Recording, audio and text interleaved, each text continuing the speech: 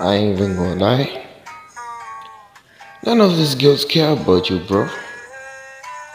Focus on yourself. Just focus on you. Get that bag.